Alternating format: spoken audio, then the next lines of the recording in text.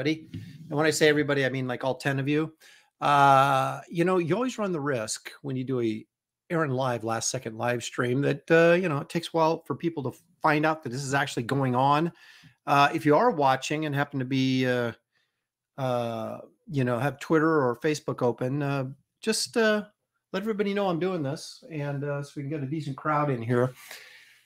Not that that's going to affect my performance. Um, okay, so what am I doing here? Well, I promised you guys yesterday if you tuned in and saw uh, the launch party that I had yesterday for the second printing of the Wraith of God graphic novel, uh, this thing right here. Now, this is the last copy I have of the first printing. And as you can see that it's got like a smudged signature on it. And there's a line across here from silver ink. Uh, but anyway, so I've had people asking me, hey, can, how do I get a copy? And I'm completely sold out. What do I do? Well, I'm going to go, go to a second printing, which has a new cover on it. So that's the incentive for everyone to buy. But anyway, the uh, so we did a launch stream for that yesterday. The link is in the description of this video. If you want to go there and check that out and get one, uh, I'd appreciate it. We need to we need to raise at least enough money to cover the printing costs. Um, so you know, tell your friends, tell your neighbors, tell your enemies to back it. If they haven't, if you don't have a copy, if you haven't read it, then by all means get this. Uh, it'll be a low print run, so it'll actually be a lower print run than the first printing. So, you know, in terms of collectability, it probably be more valuable. At least that's that's the story I'm putting out there. Uh, anyway, so the link to that uh, campaign is in the description of this video, as well as the link to my Blood Hunters campaign, Wraith of God Blood Hunters, which is basically Wraith of God two. Uh, that's also ongoing right now. But what we're doing today is we're going to paint a little bit. Going to use some watercolors. Maybe I'll throw in some acrylic. I don't know. Uh, but let me uh, let me say hey to everybody who's here. Uh, Jeff Potts is here. Uh, Lewis Bright Raven got his T-shirt. Excellent. Glad to hear that. Glad it showed up safely. Jeff Potts. Frankly, zero zero is here. Good day, everyone. Thank you. Fly Fox Pro. Amanda B. Hey, Amanda. Thanks for joining us. Um, Shelly just got her nails done and walked in the door downstairs. That's why the dog is going nuts. Uh, David Pentecost comic book art. First time ever catching your live stream live. Well, thank you, David. I'm glad you're able to do that. Um, if you haven't before, subscribe to the channel, hit the like button, and all that good stuff. I'd really appreciate it. Uh, okay, so let's get rock and rolling. I may, I probably won't, but I might have. Uh, I put out invitations to David Williams and Kelsey Shannon my graybeards partners saying hey i'm going to be painting if you guys want to come on and you know so i don't know if they will or not but uh what did i get up for? Oh i got to switch cameras. I don't have to get up to do that. Um it's right here on this little button thing here. Mm, where is it? Nope that's not it. There we go. Too many options. Okay so Hey, Leg Kick's here, which is great because Leg Kick is almost always here, so it's good to see him. Uh,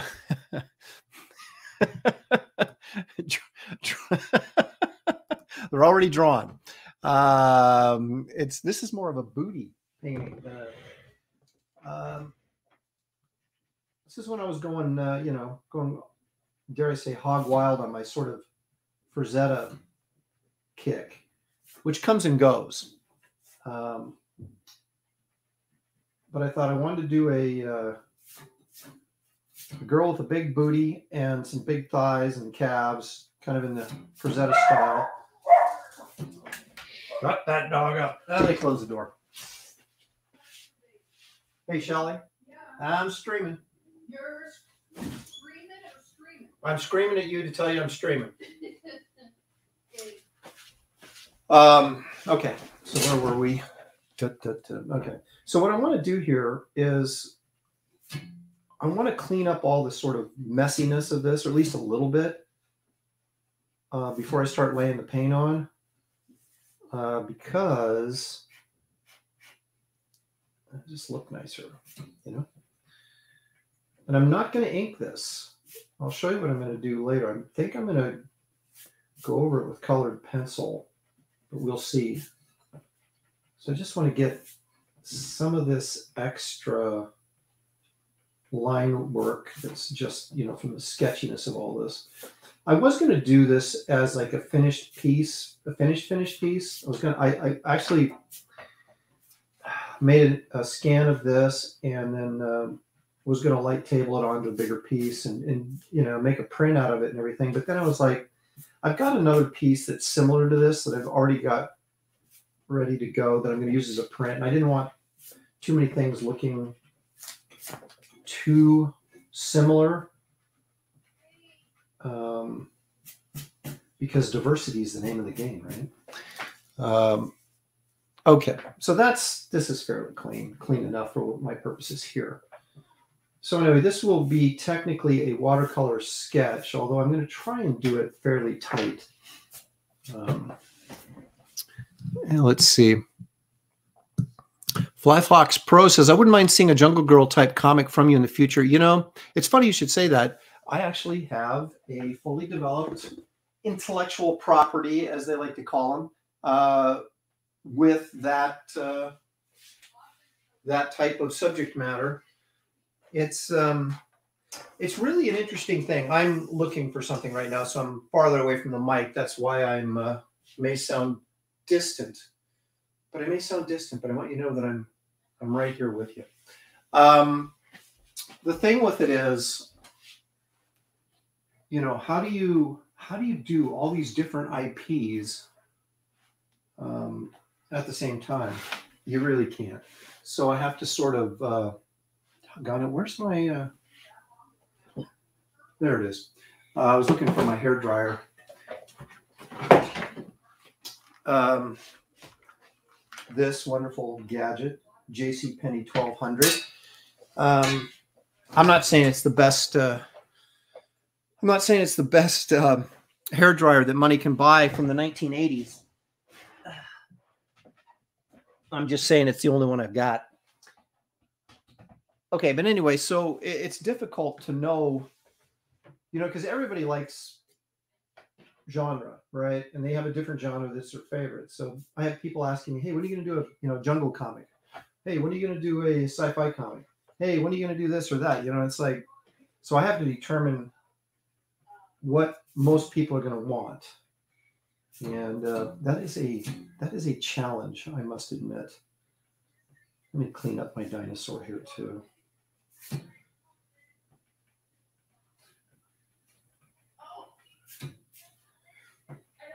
But see, I have such diverse interests myself that I I don't just like create a superhero universe. I go, well, I've got this sort of fantasy Lord of the Rings thing. And oh, and I've got this sort of jungle comic dinosaur thing. I know I've got this Western monster thing. And I, oh, yeah, and I've got this sci-fi thing that I kind of want to do. And um, I don't know. I think maybe maybe the best bet going forward after this uh, Wraith of God Blood Hunters campaign wraps up um, is to do like an anthology book. So I can do, you know, say three 20 page stories or something in every book and then i can i can you know do wraith of god but then i can do you know the jungle comic or i can do space raiders which i showed you guys uh, on graybeards in fact i'll run over here and grab it. If i can find it So yeah, so that's what I did on Graybeards, and that's another one of my IPs right there, which is called Space Raiders, and uh, it's fully developed. I mean, I don't have scripts for them, but uh, it's all developed, and the storylines are, you know, I've got them figured out and ready to go. I just have to actually write the script and of course draw it. But um, so yeah, I mean, I'm constantly trying to figure out well which of these to do next, kind of thing. And I don't know. I don't know. Would you guys support a uh, a Lopresti verse uh, anthology book? Um, maybe the only, maybe the only way to go. Excellent question. What genre is Wraith of God? Uh, well, it's Western horror superhero. So, um, my hair dryer. It is because I used this when I worked in a commercial art. And uh, in fact, I worked at a studio called the Art Farm, and there it is. So I, I technically I stole this, but you know what? Still works. Still works. Um, okay, I think we're ready. I think this is clean enough to start laying some color down. Um, I don't think I'm going to do anything with the background. I think I'm just going to color the, uh, the, the figures and then the uh, the grass down here. But normally, what I would do if I was doing the background and everything, I would pick a key color for my background, which is let's say. Um, normally, I use an orange blue complementary scheme because that's my favorite. Nice booty. Yeah, thank you. Oh, you're Uh-huh. talking about the drawing. Yeah. Um, Can't see your booty. Shelley Showtime is here. Hi guys. Um, yeah, so I would like my favorites. cover this whole thing with blue, a wash of blue paint, and then I would, you know, go in and and uh, color it. I lay in the color over the top of that, and uh, but I'm not going to do that because I'm not going to paint the background. We're just going to paint the figure of the dinosaur and the Jeffrey. Jeffrey. So let's get. She's been doing squats. Who has? Whoever Oh, that is. She's got a lifted booty. Well, she's a. Uh, She doesn't live in gravity. Frazetta You girl. mutt like a cake. TJ. So we're going to start with uh, some burnt sienna. Red here. Wizard. You're gonna paint. Yeah, this is How exciting is that? I use this. It's very exciting. It is. I use this as my base flesh tone. If I'm just, you know, if I'm not doing anything cute, I'm just doing a regular flesh tone. Then I will use. Do you want to show what you're doing with the paint? Or is that too much to ask? Like, sorry. I mean, I didn't mean that like I mean a little bit sarcastic, but you So I just squeeze out a little color there on the uh, on the old uh, extra piece of Bristol board. Then I'll get this sort of. I don't want this heavy. I want it watered down because I'm just going to put in a light uh, flesh tone over it's just a flesh wound. all of her.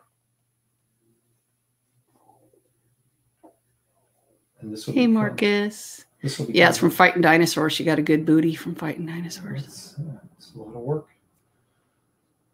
Hauling the uh, carcasses of giant animals back to the cave. you know. Yep. TJ says, just woke up.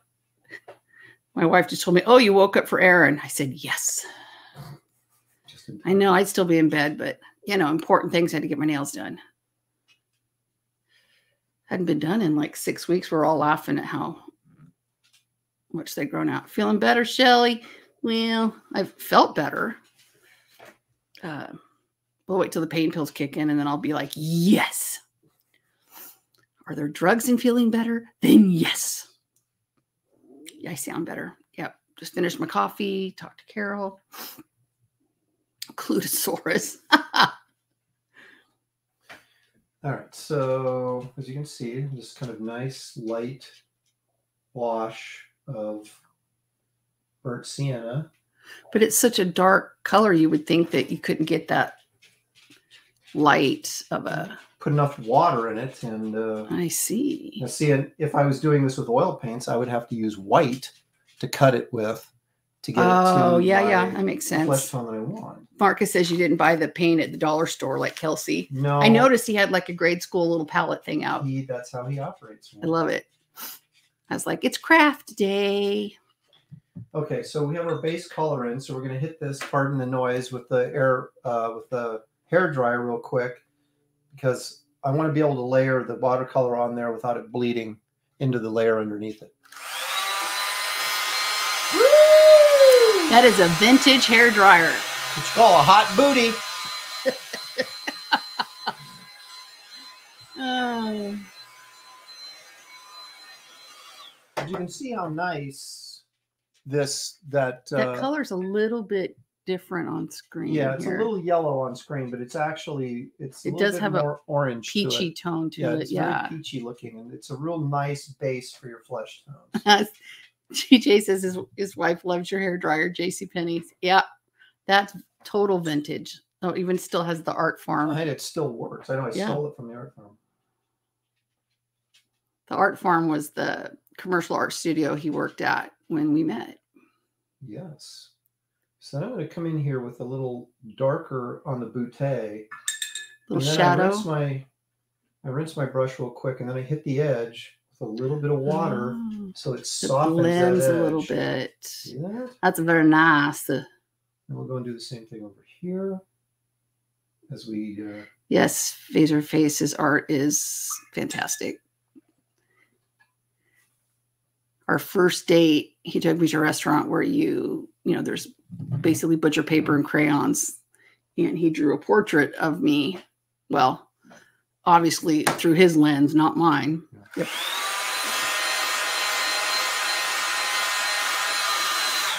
Hit it for a little quick dry. A little Continue with your story. drying of the booty. hmm No, I was just gonna say it, it still amazes me when I watch him draw, and it's been 31 years almost. Yes, Aaron Lopez is a fantastic artist, Leg Kick says. Yeah, I. Uh, Are you related to the Lopez brothers? I do. I know the. Lopez I brothers. know. You were supposed to say. I wish. Yeah, I You'd be eight, up for cash. 18 feet tall. Yeah, we hit 'em up for cash. Yeah. Say, hey, brother, give me some cashola. Of course, she's referring to the Lopez twins that play professional basketball. And they're comic book friend, uh, comic book fans, geeks, Both. both. Yeah. So we'll try to get kind of a little bit of a soft edge on the on the booty there. I think my booty used to look a little like that back in the day. Well, you know those uh, I taught step aerobics forever. the um, you know the Studio Source portfolio that we discovered underneath the bed. Yes, that was Uh, my hair, wasn't it was it? your face and your hair. Oh you didn't pose for it though. I don't like Your sister posing. Pizza Dan is in the house. Yes, Face Race. He still has the best intro on the Kings. Your uh, your intro to Kings is so funny. Oh, the uh, Marlon Brando thing. Yes, that's what I was trying to. Well, you got to give Shanth credit for that. 'cause he's the Oh, created that. so so good.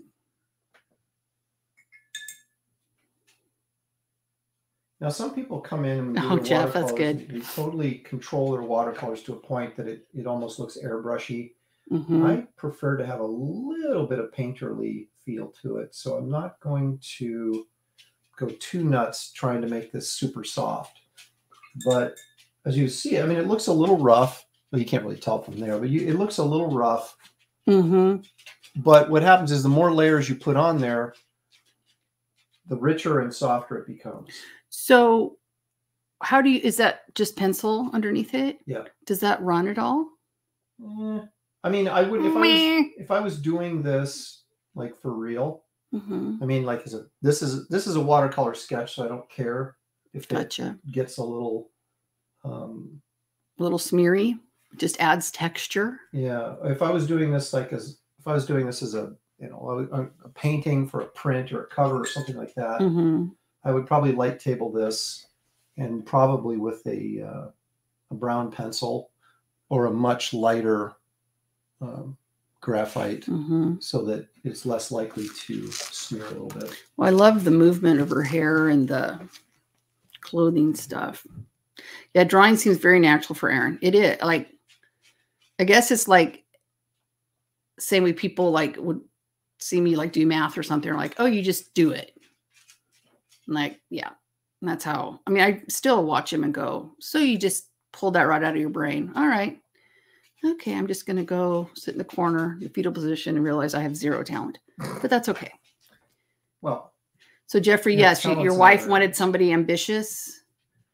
That's that's all you can ask for, right? Like that's all we want for our daughter. oh, don't get us started on that. on that. Um, but just how his brain works so differently than it took me a few years. Hit it, Aaron. Hit it.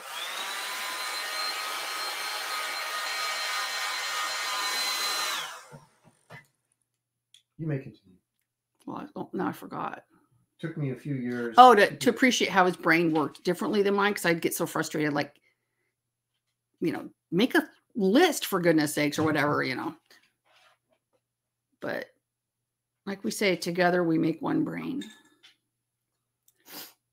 But yeah, everything Aaron does to me is perfection as well. I just look at it and go, like the, the recent pages you posted. Holy crap! In a good way. Like I mean the uh, the just the- God yes, the, uh, all the yes, the cross hatching and the. I just look like your different angles. Just really, I think it's the best work you've ever done. Perhaps in some regard, yes. Well, it's just so complete because it's your writing and everything. So Yes. I like it.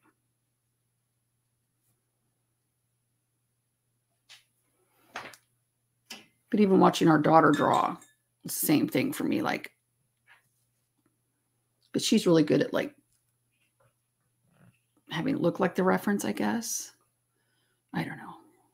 She's got more of a fine artist vibe to her work. Yeah. I'm more of a commercial artist. But I guess the main thing is you guys have that talent.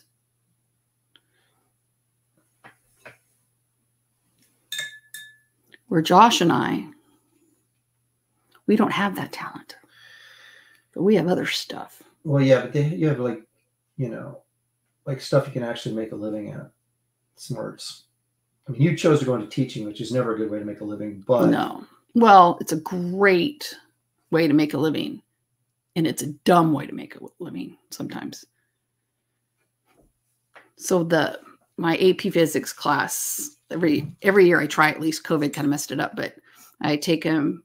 They do a whole STEM field trip at iFly, so they had their big you tell them what iFly is. oh iFly indoor skydiving, and they do a whole thing. It's so cool. Then the kids get to go into the tube and that big fan that blows the air up, and then they can just kind of like float. And they do the whole physics behind it, and it's just so cool. So they had that yesterday, and they they sent me photos since I'm not, can't work anymore right now. Oh, Dan, that's so nice. Says I have the talent of just being awesome. Darn it. Wow, he doesn't know you very well. I know. I fooled everybody. Ha, ha, ha, ha, ha. yes, I'm looking forward to the Lopresti verse as well, DJ. Like he did like he a lot of it he just keeps to himself and then it's like, oh, and then there's this, bah, and you're like, oh, you just because that's what like his brain, especially if you have your brain treadmill on at night, it's just a creative thing. Mine are I don't know what my brain does. Depends on how much pain meds I've had, apparently. Last night I had the weirdest dreams. Oh my gosh, it was like horrible. You wake up and you feel bad. what did you do to me in your dream? It wasn't Oh, you. okay. It was a really like weird dream about my dad. Hmm. And then you wake up going, Where did that come from? Sorry, dad. But I'm kind of like like our son in the first book, he didn't want to ruin anything. So he wouldn't look at any of the pages, anything before the finished product came out. And that's kind of He still comes over and get ticked TikToks. He's saw a double page spread I'm working on right now, and he's like, every time I come over here, I get spoilers. I don't want to see any of this stuff. Yeah. Read the book.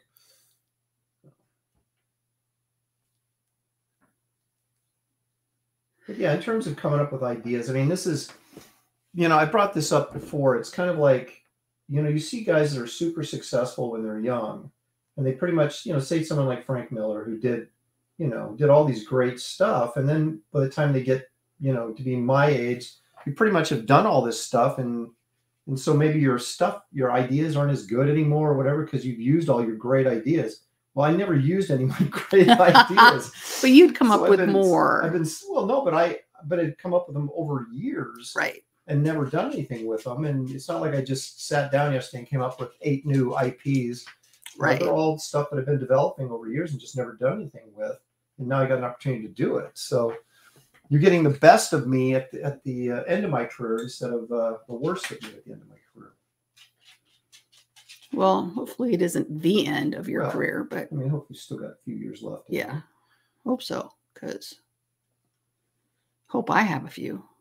I don't know how many I'm going to get, but so Phaserface says yes, drugs and brain chemistry is fascinating. yeah. Well, unfortunately, I mean, I guess my pain meds help me just function, but I don't get any of the woohoo feelings anymore. Hmm. Well, it's been a million years since my first back surgery, so there you have it. Let's all go. Oh, poor Shelly. Shelley. Yeah, they say, Aaron, stop. This is not the end of your career. No. I mean, we all on the downhill, the backside, just from age, but Well, you know, he'll draw until he just falls over. Like, yeah, I'll be working on something when I die. I'm sure. Yep. Um, well, you know, I was talking to. booty. I was talking. Oh, no. Diaz is here Uh-oh. and wrote booty. I was talking to Mark Schultz, and he was saying that you know this you start to lose your you know your high end abilities at age 70, right? So it's Mm. like he wanted to get his last chapter of uh, Xenozoic Tales done before he turned 70. And he's a couple years older than me, uh, so he's in his 60s already, and. Uh, so yeah, so we're kind of like, okay, so if, if that's it, if se- I can do my best work up until I age seventy, then well, I've got Yeah. you know what, twelve years or eleven years. I'm, I don't even know old All right, anymore. Jeffrey, have a good one. And yes, I can't wait. I, I got to finish the book I'm on, and then I am there for it. well, thanks for joining us though today. Appreciate that. Um, thanks, Jeff. Um, I need more than one Aaron for all the IPs. That's why I'm creating these, you know, like Lopez and uh, um, it's when your split personalities are really kicking that's in, right. That's paying can- off. I can do all this stuff. No, I'm, I'm starting to think that maybe doing anthology books so Hi, I can baby. do Hey, baby boy. different uh, Yeah, mama good boy. several different stories in every Yes. every book is the He's way a mama go, good boy. rather than just one And- epic tale. The color's coming through a little better, but it is more tannish. There, that's better. I think that's close. Um, But you can see you can see you're just so patient with the layering.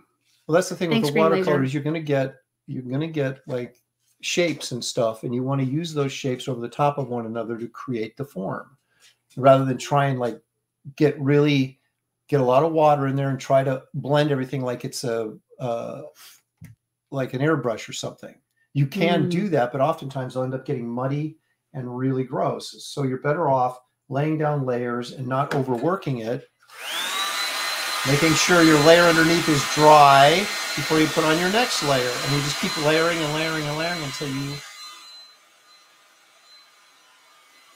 get a the nice magic is the finish. vintage 70s hair dryer. yes. That's the magic. if you don't have a 70s hair dryer you have no shot No.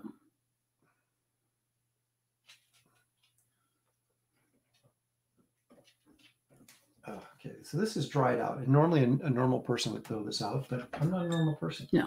I'm going to stick my wet it, brush right? in here and create. Did you want them to see that? I'm going to stick my wet brush in There we go.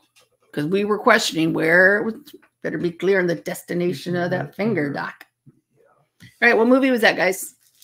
Better be clear about the Mhm. destination of that finger, Doc. So I got some because I want to Oh, make it's a little her. reddish. I want to. I want to make her cheeks rosy. Oh, These cheeks.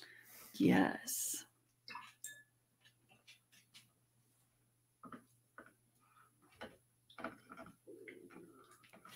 Husker's chewing on your chair. It's a full day. Good job, Husker. He's like, who are you guys talking to? Yep. Why are you not talking to me?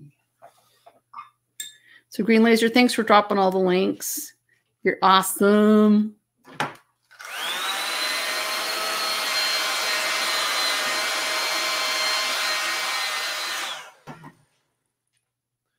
She has rosy butt cheeks. Mm. Probably want to put some of that red into these calves as well. hmm I think my calves are still good. I think that's about the only muscle still left in my body. Oh yeah. We're good there, though. See, I leave these highlights in there, or those open spaces, or the highlights, but eventually I color over them, and uh, so I could go back in with uh, some acrylic white at some point to bring out some, like, that's really still a white hot spot there, but I may end up coloring over that a little bit and then going back in with a white acrylic at the end to sort of um, Well, that one layer doesn't, it still has that lighter tone, so it still looks rounded. Yes. Was that the right terminology? Um, Bootylicious is actually what Ah, would have been better. That was next. for. Booty. So I'm just kind of going really lightly with this red over the top of this. Job. and then you can uh, you can intensify in areas where they say the thin would be skin. Let me try that again. The skin would be thinner, um, like on the elbows or the knees. We're not seeing her knees, but we are seeing her elbows, and so that might be more red there. Uh, maybe on the hands or the knuckles. I know that uh, Boris Vallejo would often use blues and greens around where he felt were the thinner spot parts of the skin, like the back of the hand, things Mm. like that, where you, you kind of see your, you know, your Especially blood you. vessels. Yeah. Um, TJ Hot Coffee and watching Aaron live. Like it. well, we've got almost 60 people watching right now. Nice. I would encourage all of you, if you would be so kind as hit the like and subscribe button if you haven't already. And keep sharing those links and all that good stuff. That's right. We need to get for that uh, for the second print campaign to be viable. We really need to get about probably 150 to 200 backers. So that's what I'm shooting for. So spread. It's a nice way to introduce like your friends to the book that might not have heard about it, known about it. And then I think it's great because then the second one will come in right afterwards. Yeah. Many of you are getting uh, your T-shirts. Um, Yeah, very cool. Shipping those out daily. Um, but I'm not doing a full-on blitzkrieg of shipping. I do a certain amount of day, time a day, then I get back to work, so I can. So the, Yeah. shi- the shirts aren't going out as fast as say the books will. Uh, once I get those in, Well, and, And it's just weird that the printer issues we're having same computers almost, but it's oh, with just the labels. yeah, Yeah, I tried it again downstairs and it still didn't work. that's so annoying. So my laptop's not gonna. So Eric Medved, Yes. Julie, how are you? I'm all right. I uh been kind of rough, but I'm gonna see the oncologist in May. May?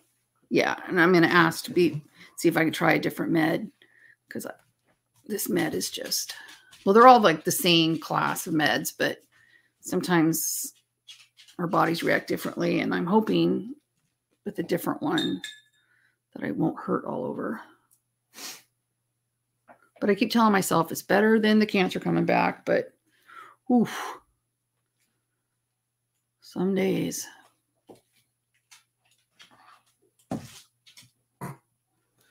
Dog bringing in his toy, working his chew toy down there. Yep. So Fly Fox Pro Yes. here says um, he's got multiple comic projects that people have paid says paid me to draw for them this year. I've come a long way since Oh, I handed great. you my first printed mini comic a few years ago. That's excellent, man. Yep. Good for That's- you. as long as you keep moving forward. Thanks, Eric. Yeah, it's I just got to hang in there for another well, another year from now I should have my big surgery done and yep, I just want to be here for my kiddos. And you know what would Aaron do? Holy cow. What would I do if Shelly wasn't here to uh, He'd have to pay someone to come in and be sarcastic and abuse him. That's right. Right now, I get it for free. I For don't wanna pay- I don't want to pay for it.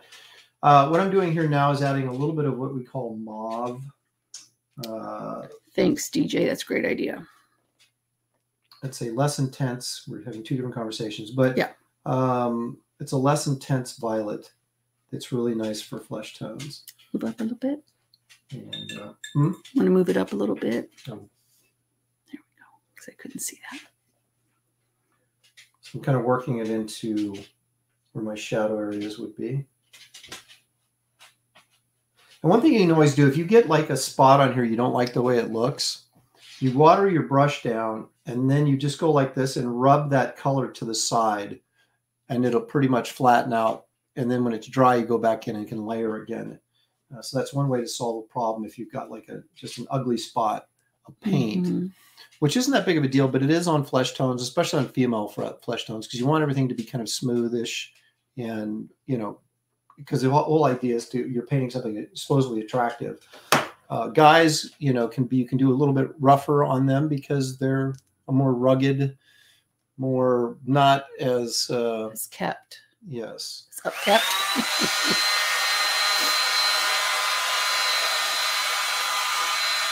that's how I always solve any problems I have. I've got like a like a, a part in there that like has like a line or a stain of paint that's in the wrong Mhm. area. I don't like it. I just wet my brush and I'll rub rub it like this until it Kind of lifts. and blends it can- out. Yeah, and then you can just push it over to the side, then it becomes part of your holding line, which is fine for that to be dark, obviously. Very cool.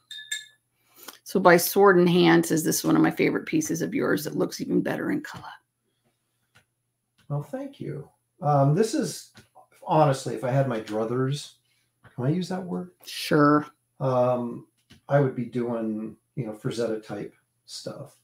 I mean, I love monsters, but um, Frazetta Jungle, well, I guess there's monsters in that stuff too, right? They're big dinosaur monsters or creatures or whatever. That's where my heart lies. Unfortunately, there's just not a huge audience for that type of material. So what what paints are you using? These are just uh, tube watercolors. I mean, I'm using Grumbacher mostly, but uh, You've had those for a long time. I've got some Cotman here. Um, I don't really. I'm not a big. I'm not big on on brand names or anything. I just buy whatever's on sale, and uh, or you know, if I want to try something different, because I find they all, unless you get super cheap watercolors, they might get a little um, spotty. But although Kelsey makes it work, and he uses Yeah. super cheap watercolors. Um, I mean, all this stuff is expensive, so I'm always trying to get the best deal I can, and also you don't want to waste any. That's why, even though this sucker is dried out, all you have to do is add water to it, and you've got paint, right? So it's like I don't, I don't throw them away, generally speaking. And I can attest to that being true. If you saw his Hey, The paint drawer. I know.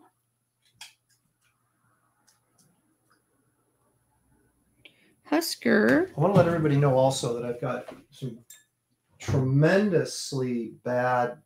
Um, see, I fooled you there, didn't I? Tremendously bad, Bad. Bigfoot videos coming up on Sunday, so you don't want to miss that. Well, and then we probably then should transition into Hairy Man. That's a good, yeah. So, Shelly, explain to what you called me down to watch the other day, because I'm still not sure what I was watching. Well, it I can't remember what channel it was on. It was like Discovery or something, Yeah. wasn't it? Well, and I don't watch regular TV hardly at all. But anyway, so like, Aaron, Aaron, come down. And it was um the Alaska Triangle thing. Okay. And they go ahead. I was going to say that. Okay, so they've created this Alaska Triangle, which is essentially like they're saying it's like the Bermuda Triangle, but it's in Alaska. The problem is the triangle's so big it takes up the entire Alaska territory. So it's like, how is that a thing? It's like, look at all the people that have died in the triangle. Okay, why don't you just say, look at all the people that have died in Alaska because the Ala- the entire Alaska right, the entire Alaska state plus plus some water. water Um, but they're they had these you know three guys looking for and they called him Hairy man and how you know in this town that is no longer it's like a ghost town or whatever um they were finding you know dismembered bodies and and it they attributed it to Hairy man but that was a long time ago so they're still out there looking for him which to me suggests that they would need to breed which you know they didn't say Hairy man and here's his you know furry wife. chick Yeah. um Hairy man and furry. and chick. furry chick Yeah, like um but yeah but it was so Bigfoot esque. I was like, Aaron, you got to come see this. Of course, they had nothing on film or They had else. some um, infrared, which of course you just saw a blob. Um, but yeah, So How do they get the infrared, but they don't? They still can't get a decent picture of them. Continues to crack me up because I was watching these trail cam videos, is where I find a lot of these things, and they had this. Uh, they have these great shots of bears and elk, even at night. Great shots, and then they get a shot of Bigfoot in the day, and it's all blurry and fuzzy, and you can't tell what it is. he gives off like a electromagnetic thing that so nobody can focus well, in on. That's what they're they're actually that's kind of they're theorizing now. These Bigfoot Oh. people are theorizing that he's interdimensional hopping. I mean, we joke about it, but that's actually what they're Oh my goodness. and that's why they can't get a clear shot of them. Well, where is it that there was like Stinky Man? Stinky man. Wasn't there one that was like, skunk ape. yeah, Stinky Man, Skunk Ape? You know, same. As you can see, kind of Sequential. Treasure says, "Oh yeah, give me the booty." There it is. There it be. So we want to get a Doing little bit more. squats. We want to get a little more red up in her Excuse upper me. torso, Okay, not just on her booty.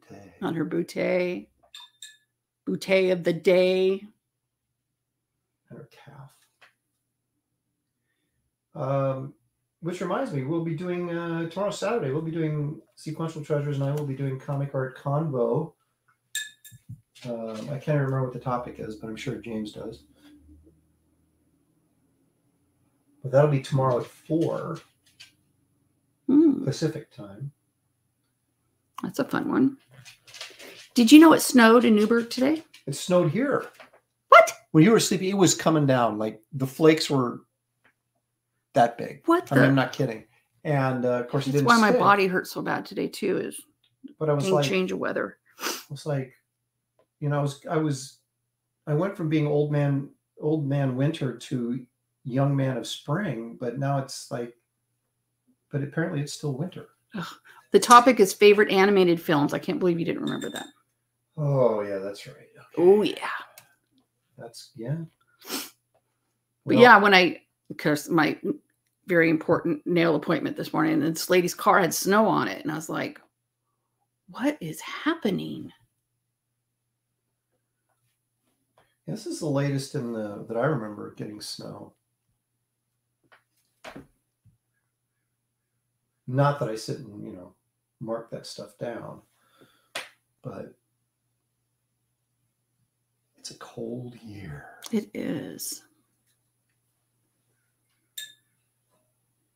Yeah, it's just weird having snow this late.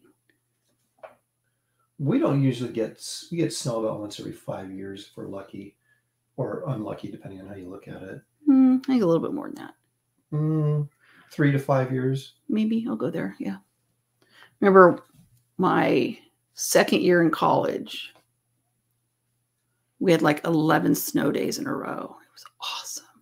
Well, you were out there by Mount Hood anyway, Mount Hood Right. Community College, and so yeah, you're going to get a ton of snow. out it was there. great. S- sledding, hot chocolate and peppermint schnapps. It was awesome.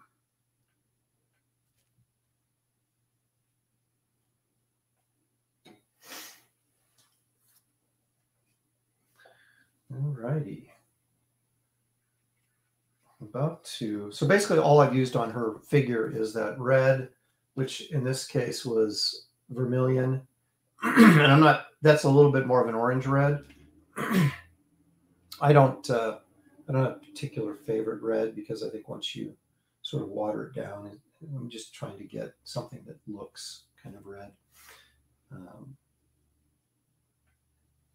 but, um, and then the, um, uh, the, the burnt sienna, and then a little uh, mauve in there for the shadow Mhm. areas is pretty much all I'm using. Bretsky the Great is here. Salut, chat. Salut, Shaliner. Thank you for joining us. Appreciate it very much. I would like to take a moment to remind everybody that there is a second chance campaign for Wraith of God Blood Hunters. Uh, it's basically the second printing of the book with a new cover, and it is in the link to the description. Let me try that again. the link is in the, in the description, description. of this video, as well as in the a link to uh, the Blood Hunters, Wraith of God Blood Hunters campaign. Um, and I'm happy to say that the Second Chance campaign is not shadow banned yet. Awesome. Let's hope it stays that way. And um, but anyway, if you guys would continue as you have been, sharing those links um, We through social it. media, that always helps. to Especially reach- blood hunters. Yeah. Um, the uh, the second printing campaign is only going to be up for 30 days, and then it is over and going to the printer. Oh, I didn't know that. So um, you don't want to wait too long. And then if Mm-mm. you haven't, if you don't have a copy of the of Wraith of God number one, uh, you don't want to miss out again. So anyway, that's that's my infomercial for now. Now back. Back to our scheduled programming. So GJ says uh, we need monsters back on the voting poll for graybeards. I keep putting it up. You guys keep voting it down.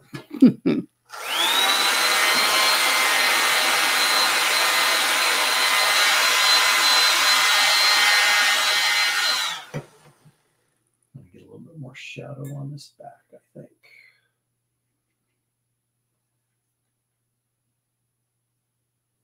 Uh, this week, the uh, categories is going to be uh, Lord of the Rings, um, Narnia, or Shelley's favorite, Dark Crystal. Oh, uh, oh, that one wins. It's going to be a bad day. We know you won't be coming in here. Nope.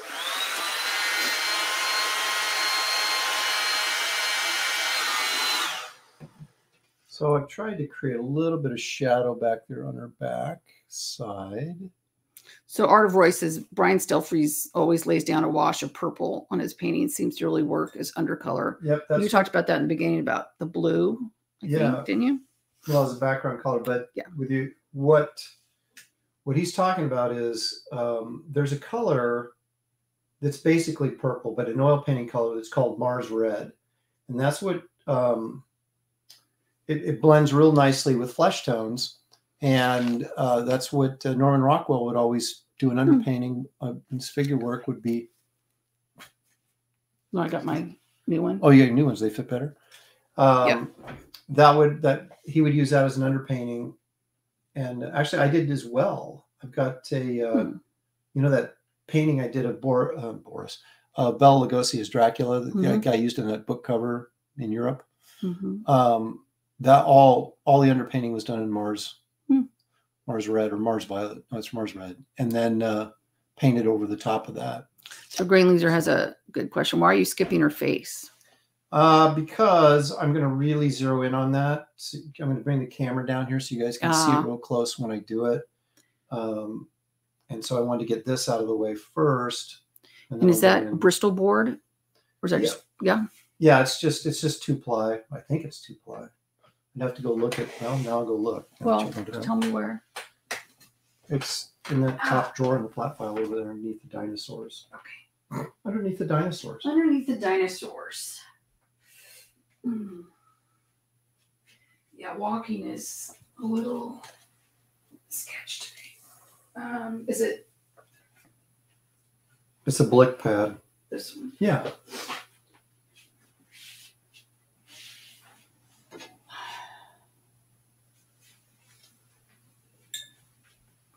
I don't always. I mean, a lot of people use Strathmore, but this Blick is basically the same stuff, and uh, it's like it's probably made by Strathmore, but just for Blick. So I mean, this stuff is perfectly fine.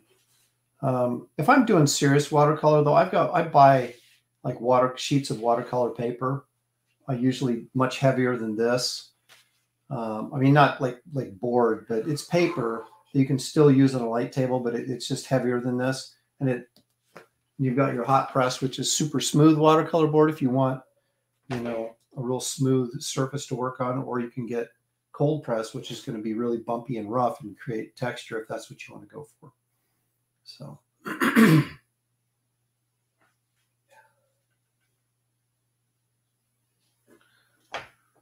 All right? My back is killing. me. Well, if you have to depart, Yep. it's all right.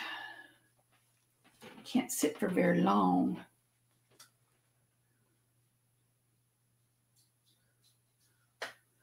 Um, so is this coloring style based on Alfonso? I can't even read that. Mucha? Sir Piri's Mm. style? Um, I'd love to say, yeah, because it'd make me sound super arty and pretentious, but no. I did. Uh, uh, this is mostly me figuring out how to work the stuff on my own. I mean, I, I did look a lot at Alberto Vargas when I was young, and and he had one of his one of his books had like a two pages of technique section in the, the back of it that I sort of um, adapted some of that stuff, or should I say adopted? Mhm. Um, some of that, but a lot of this stuff is. I mean, I never, I never had formal education in art, so I, everything I picked up It's pretty much self-taught, with the exception of a few oil painting classes I took. Um, and it's sort of just figuring out what the medium does that you're working in and then trying to get it to do what you want it to do and i know that there's you know if you if you take a class from someone who knows what they're doing you can it's a, an easier way to get to the end result Mhm. which i never had um, i mean I, I got some education in when i worked in commercial art Um, that was helpful as well so did you remember the name of the ominous floating character on the debut of those new characters? GJ Um, wants to know. yeah, actually i can tell you And then we have a five dollar super chat. Thank you much. So Eric Medved says, "Can't wait for the further adventures of the Lopresti verse. I love continuity, and your world is such a great escape. It is for me too thank you Thanks for the. We're gonna say just thanks for the what you fill in the blanks, whatever you guys want. Oh, he just says thanks, Thanks for for the. the the end. Uh, okay, so our main characters are the are Royce Falcon and Del Omega, and they have a little robot that I put in there called Bolt. Um, okay, let's see. Here's the story. Doo, is doo, that doo. the? the Yeah. that- yeah. yeah? What he's thank you. What he's referring to is this piece I did on Graybeards, uh, and everybody wants to know who the villain is, and I'm like, well, I can't remember his name. Ah, So now I'm going back to my my outline here. You know, let's see.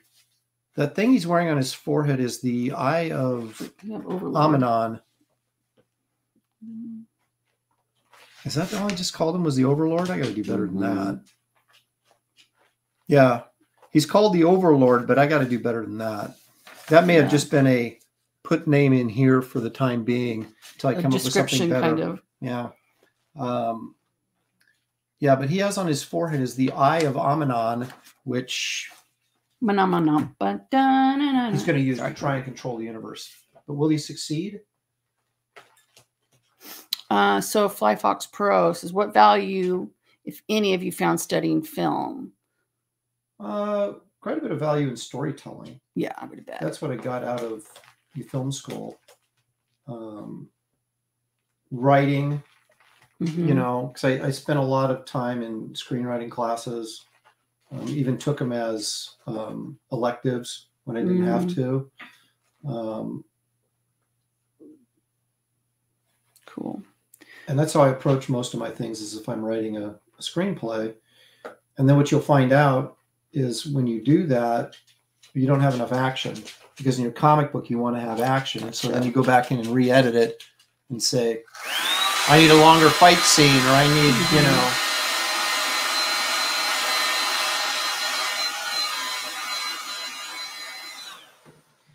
All right, lovely chat, and lovely Aaron. I'm gonna go back to bed. All right, so I'm not going to do any more work on her back because it's dark enough now. But I'll probably go in and drop some highlights in with some acrylic. But let's finish her face first.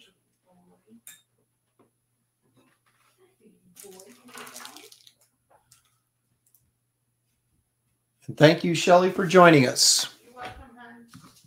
Um,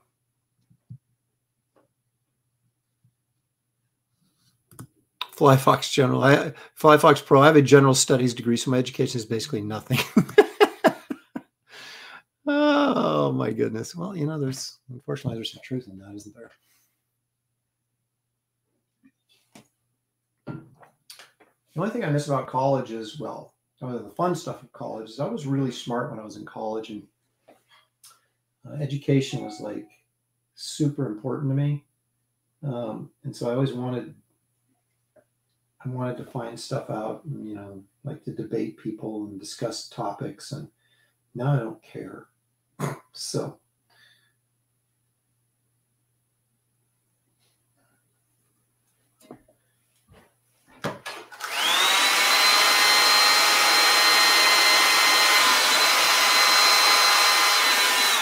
I would go and uh, you know see movies that were supposedly intellectually stimulating, and uh, now I go for pure entertainment because I don't want to be uh, challenged when I go to the movie theater. I'm challenged in day to day life.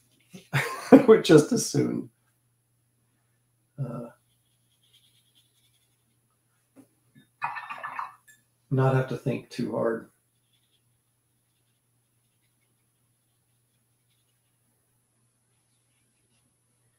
Last Christopher Nolan film, my son went and saw Tenet or whatever it was called, and I said, um, I said, well, did it make any sense? Because it looked like it was just really kind of high end confusion, and he was like, well, yeah, sort of. He said, but I really kind of need to see it again to, to you know, make sure I got everything. And I went, if you have to go see a film twice to figure out what's going on, I don't want to go see it once. And I'm a big Christopher Nolan fan. You know, I loved the Batman movies, and I loved um, um, The Prestige. It's like still one of my favorite movies. But you know, uh, what was the one where they uh, where they went into everybody's dreams? What was that called? Um, I liked that one, but that's about as far as I want to be pushed in terms of intellectually. So.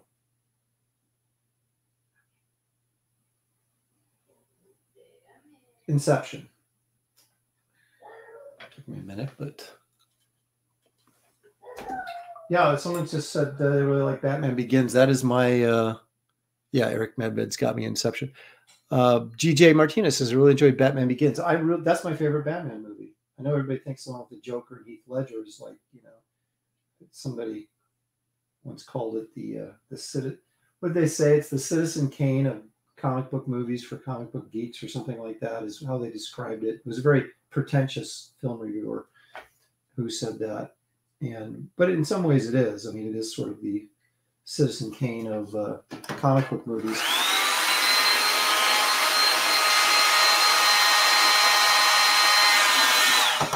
And uh, so my son loves that one. But I don't think it's as fun as Batman Begins. Batman Begins to me was was more it was the most Batman film of all those films. When he was like when he's no longer in his uh Bat cave, when that whole thing got destroyed and he's like in downtown Chicago and they're using Chicago as Gotham I was like, ah, it just didn't feel right to me. And again, I thought they were all really good films, but it just didn't feel right. The first one felt right to me.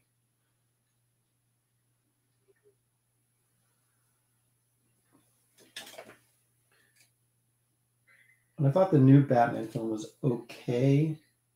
David Williams really likes it, but I was I thought you know, I didn't dislike it, but I, mean, I could be getting burnt out on Batman too. It's like how many uh, how many Batman films do we need?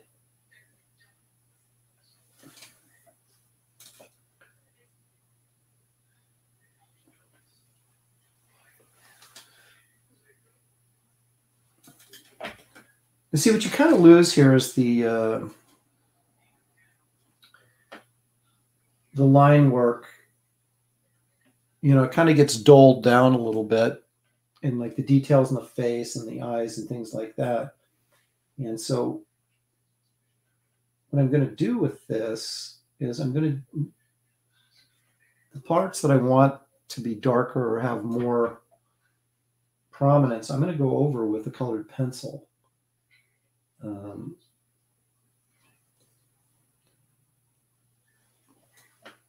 when I'm done with it.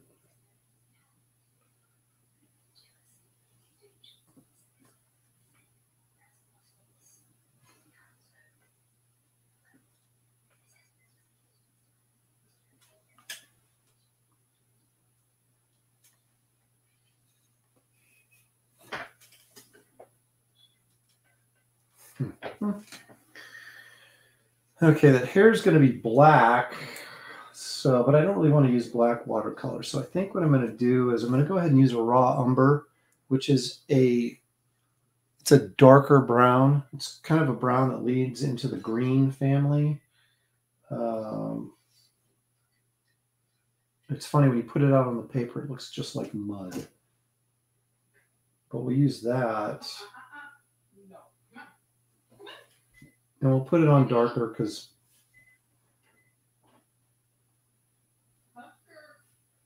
if I want any highlights in here, I'll do it. I'll put highlights in with either gouache or acrylic after the fact.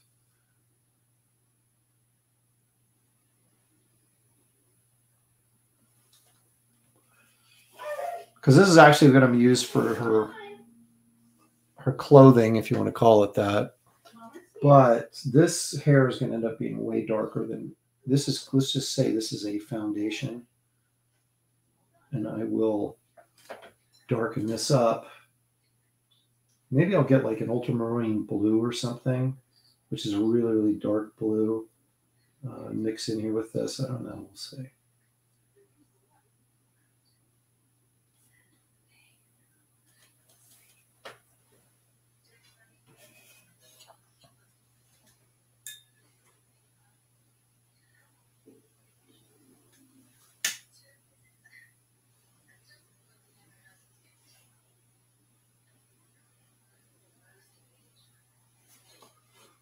This I'm kind of I'm kind of drawing with my brush here. Because his hair is very you know it's very loose and wispy anyway. And I'm not like I said I'm not all that concerned about how slick it looks or anything. It's because I know I'm going to go over this again and again and again to get it darker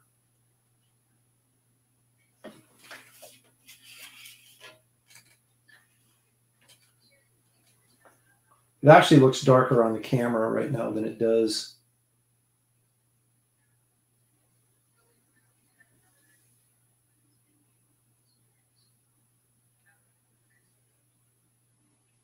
Than it does in actual real life here.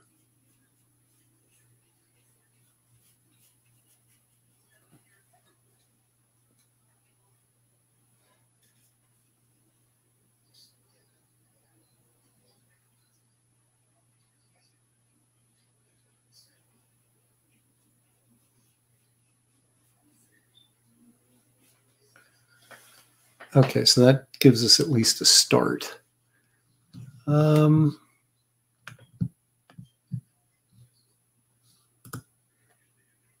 I could make her a redhead, but I don't want her to be Shanna the She Devil. Uh, interesting story, uh, bringing that up. Gary Martin, of course, says, forget the hair, you got the important part done. Um, I got approached by uh, Dynamite many years ago. I actually I was still down in Florida, and um, they wanted me to create a jungle character for them. So I was going to do it, and uh, but then they decided to go with some guy named Frank Cho and so Frank ended up getting the gig, and they he created some jungle chick character for them. So can't really blame him, I guess, but. Uh,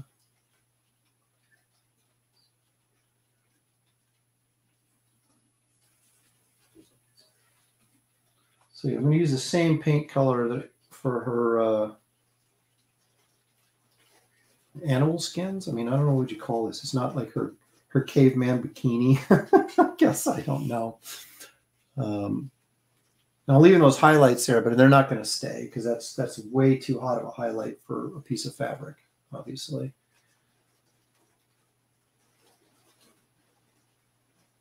So it was snowing earlier this morning and now it's raining outside.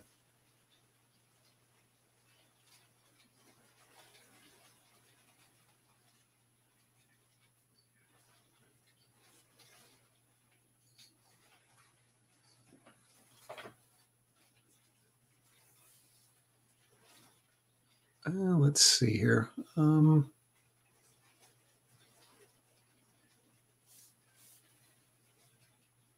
Evil One just dropped in. Good to see you. Thanks for joining us. We're uh, over 60 strong right now, so that's great. I never know what to expect audience wise when I do these uh, last second live streams because I don't announce them. I just sort of do it. And uh, the idea is to try and get some people that wouldn't normally check your show out to be surfing the internet going, hey, what's this? And come and check you out. So if you are one of those people, please hit like and subscribe to my channel. I'd appreciate it greatly.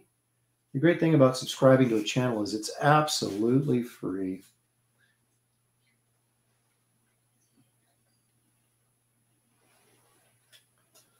Once I finish this, I've got a nice double page spread over there that I'm working on for a week.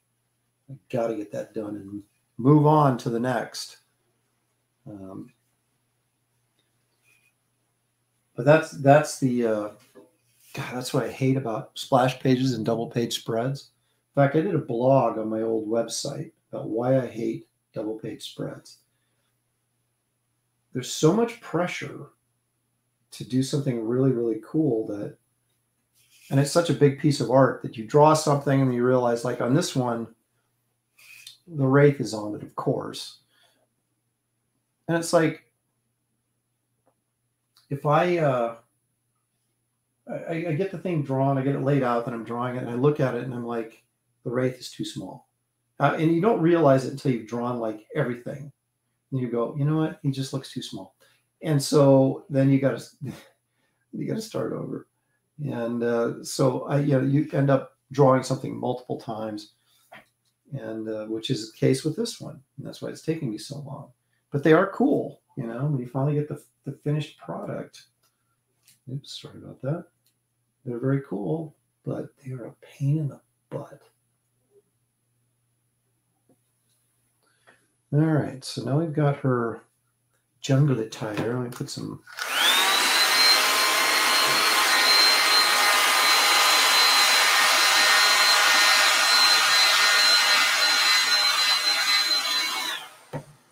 Now, since this is technically, technically, technically, you see my my quotes, my air quotes here? Technically, looked like I was squeezing her booty. Um, an orange blue complementary I should be using. I've been using violet in the shadows, which is you know pushes into the blue family. It's also in the red family. Um, I want to get see if I can find some Prussian blue in here. And there's Payne's gray, but that's not really what I want. Actually, this might work.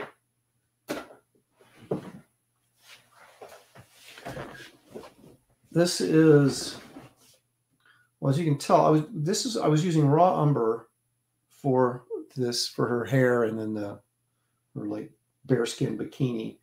I might go into this is a brown, but it's a much darker brown. You can't tell.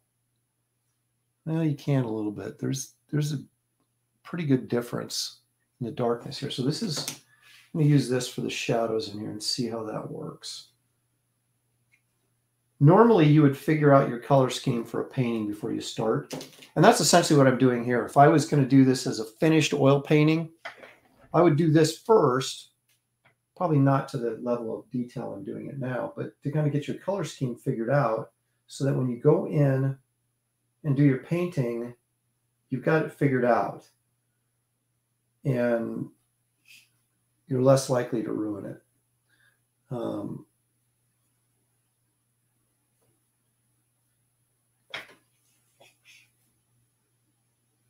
now, some people have described that as well, it's kind of like painting by numbers. In a way, it is. But again, if you get everything figured out, the idea is to do the best piece possible because in most cases, you're doing it for a client, whether it's commercial art or, you know, um, a commission or something for somebody. Uh,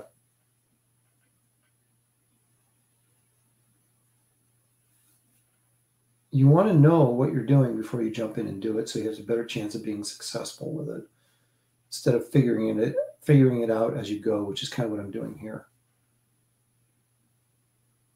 Now i'm i'm kind of using a brush stroke here almost like if i was inking this you know doing feathering because this is a this is a uh, made of fur so it would have texture on it like that, or it could have texture on it like that. So there you go. So now we've got some shadow and some lighter areas in it.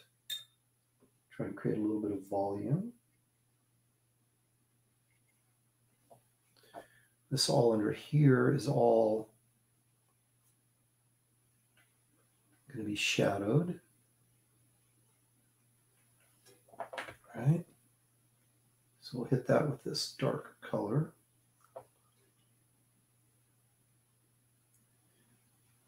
And you can tell these things really, the paintings really come to life when you really start to define the, the difference between your light areas and your shadow areas. When that contrast kicks in, this you start getting depth and it, it really starts to come alive. That's why I like black and white art so much is that it's a contrast between the light and the dark shadow areas and the highlights that really give you know piece volume and and uh, again i got to admit that it's not in real life it it's not as dark as it looks on screen. So it's not quite as striking in real life as what you're seeing on screen and that's the thing with watercolors. Now, what you can do is I can create what you're seeing on screen simply by I scan this and go into Photoshop and manipulate my um, values a little bit. Um, I can darken it up a little bit, which I've often done with watercolors because watercolors tend to want to be sort of flat and uh, they don't give you that, they don't necessarily give you that richness that an oil painting will. And uh, I mean, there's people that use watercolors really effectively and, and can do that. But you can also, if you're not getting that in your finished piece, you can also go in and after you scan it and adjust your levels a little bit, and you can create that sort of uh, darkness or that uh, contrast between your lights and darks, your values, uh, that really can make it pop. Um,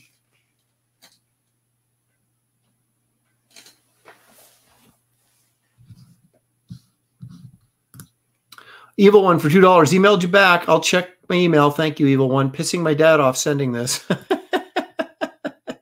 of course you are.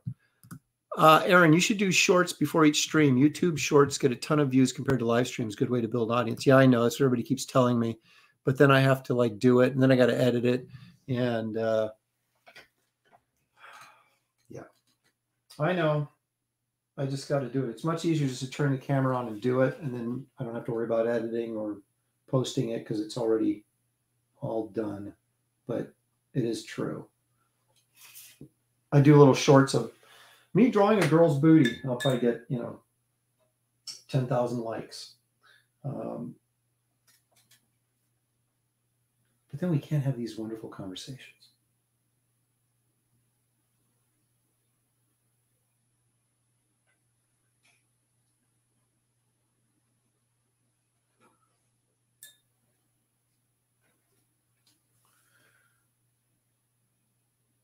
Thing is, I have tons. You guys probably don't know this. I have tons of videos of me drawing short videos. Actually, some of them are pretty long that are pre-recorded that are in my archives on YouTube. So I've done that, but they're so far buried, I think, down behind the newer stuff that people aren't aware that they're there.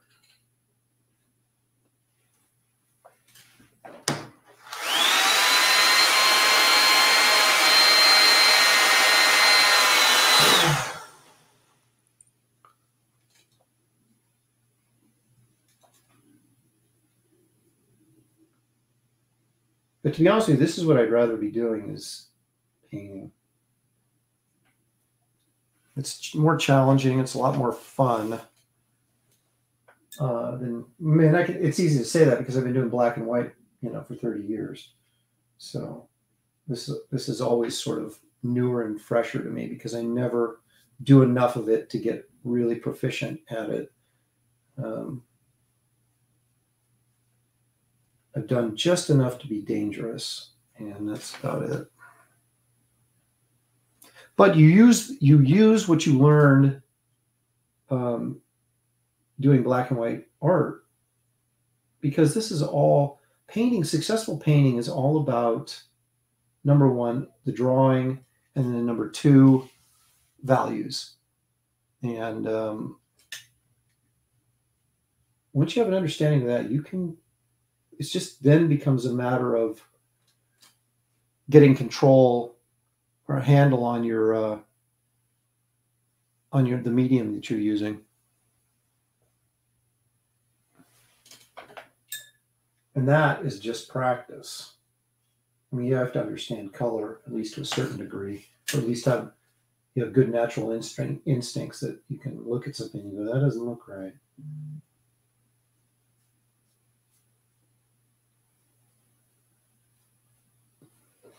Still going to go much darker with her hair, but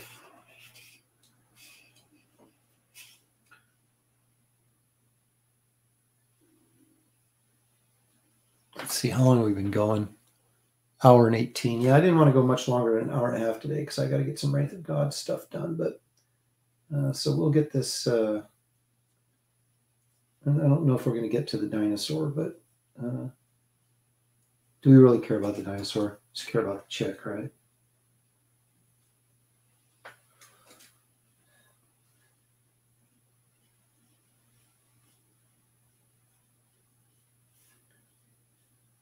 So again, I'm not, I'm doing more of a, uh, treating this hair like I would uh, if I was inking, getting some lines in here along with some shapes. I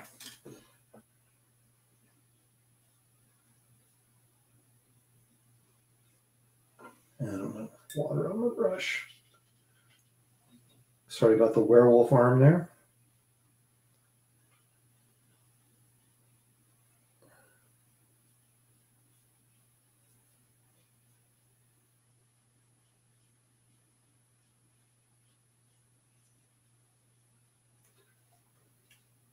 So I want to keep this hair kind of loose and flowing. Um, the hardest thing to do is, especially if you're, you know, comic book artist where, you know, precision has become so much a part of what we've done over the years that trying to be looser is hard to make yourself do. Um, but I think that's the most effective way to use watercolors is to be a little bit looser instead of trying to really control them and manipulate them. Because I said, you know, you end up, like I said earlier, you end up more more often than not overworking the painting, and then it looks like crap. So it's it's it's better to go loose than to overwork a watercolor. It's the same thing with markers. Markers, you know, you just you know, you want to be quick with your markers. Um, you don't want to overwork them because they'll end up the same way that watercolors do.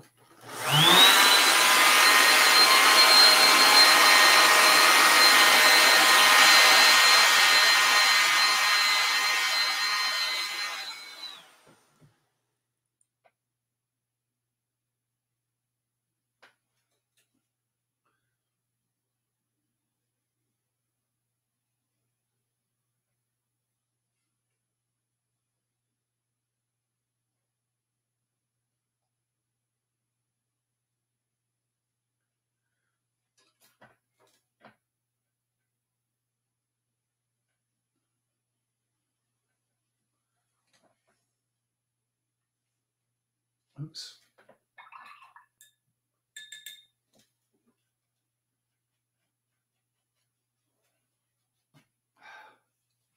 That's how you fix that.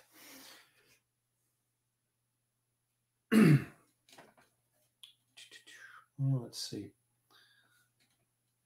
Now, what I'll do here is I'm going to take so show you guys, I'm not, obviously I'm not done, but we're getting to a point where I'm gonna have to run. So I want to show you the other part of this technique that I'm going to use on this piece. Uh, let's see.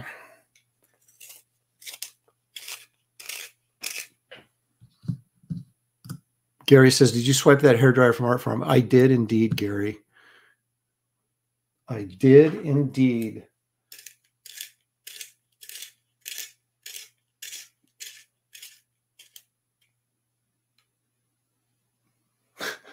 Gary says when she walks away, it'll look like two Vol- Volkswagens trying to pass each other. um,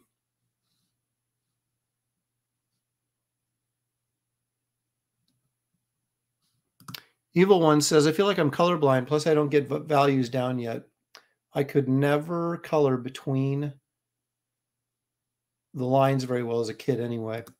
Um, you know, I'll tell you, if you really, if you really want to uh, understand color, there's a there's a book by a German guy named his last name is Itten. It's I T T E N, and it's a color theory book. So if you look up Itten, I T T E N, um, it's it's like reading math. I'm not kidding. It's not a super thick book, but it's a great book on color theory and understanding color theory. And if you pick that up, it'll help you immensely. Uh, values are, you know, very simply. Uh, wasn't planning on doing this, but I'll do it real quick. If you take a this is a values 101 take a ball, right, a sphere, right, and the light's hitting it right here, that's going to be your highlight, right? And then everything around it is gray, right? And then it gets darker as you get away from the light, right? And that's pretty much values 101, right? So it's dark here, gets lighter as it gets to where the hottest light is, it's going to be here, right? Okay, but here's the here's the trick. You treat, or I should say, I treat. Okay, so that's that's value, right? Is white highlight to darkest shadow. Okay. Now it gets more complicated than that because you have a cast shadow down here. You have bounce light that reflects up in here. You get a rim light, but I'm not going to do that right now. My point is this shoulder, for example, right here, that becomes that ball. Okay, so then I treat that like that ball with the highlight here and getting darker around the edges. This tricep area becomes like that ball. So you section off each part of the anatomy as you're dealing with light and shadow, and you all have the same light source. Let's say it's coming down this way. And then so your shadows are going to be on your far side, your highlights are going to be on the side closest to the light. And you just treat rather than looking at this as a whole figure and oh, how do I deal with this? You look at it as a uh, in sections of each as a sphere, um, and you, it, then it's easier to get a handle on creating uh, light and shade and values. Okay, so I'm going to go in here with this, basically this sepia tone pencil.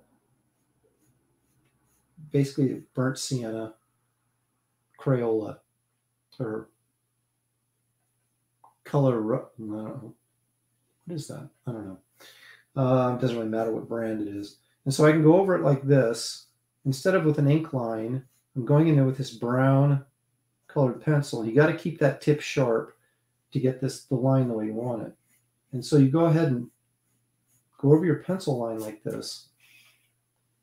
And it gives you, again, it looks darker to you guys than it's actually showing. Uh, but it, it gives us this brown holding line rather than a, a heavy black holding line, right? That you get with ink.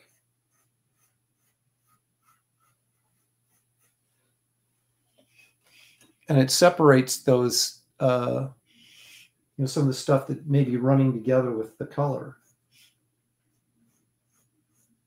Where everything feels sort of grayish because you don't have any solid holding lines. And this, I mean, you can do this with the actual watercolor itself or the paint. But this is an easier, faster way to do it, especially on something that is a, it's essentially a sketch, a watercolor sketch.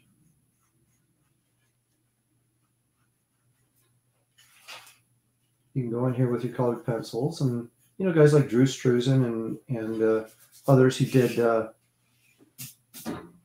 um, movie posters would use acrylic paints, and then they they'd use colored pencil over the top of the acrylic paints to get the you know certain effect. And uh, it's not all that dissimilar to what I'm doing here, except I'm not doing any shading with colored pencils. I'm going to let the watercolor shading stand on its own, but I'm, I am outlining the figure with this brown pencil. And it's almost like inking it, but you're inking it with brown. And again, it looks super dark, what you guys are seeing on screen, and it's not that dark. It almost looks like ink, what you're seeing, but it doesn't, it doesn't look that dark. So it's kind of a little bit more natural feel to it, I think.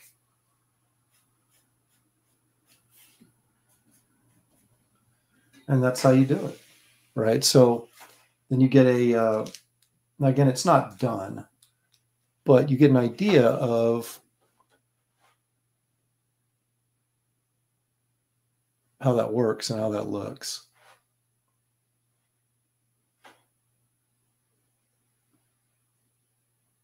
See, I might come down here with a little bit more brown. This looks a little bit light compared to what we've got going on up in here. Um, it's interesting how the contrast on this camera, because these brown lines I just put in there look, look super, super dark, but the flesh tone looks super, super light, and it's not that light. It, it, this is a much darker uh, skin tone than what you're seeing here. It's got a lot more uh, red and orange uh, hints in it. But that's basically how I would do a, uh, a watercolor and then firm up those holding lines because that's just the comic book artist in me that you see stuff with that dark uh, holding line and you get used to seeing stuff that way and you do a painting and it doesn't really have those these lines become more gray and so you just instinctively kind of want to darken those lines. But this is a way to do it without without inking it. You do it with a pencil, and uh, Evil one says, "Thanks, Aaron. I need to find a teacher like you." Well, looks like you found one. Thank you for the two dollars. Um,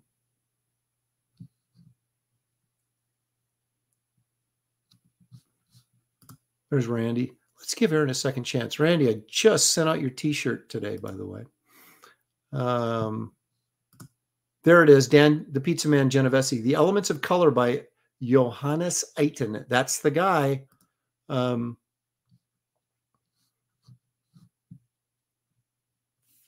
so anyway, I mean, there's there's a million ways to skin a cat, as they say, right? Or a hundred ways, or whatever. Uh, this is just how I do things, and there's other guys that do it differently. So I would never say this is right or wrong. I'm just saying this is a way uh, to do it.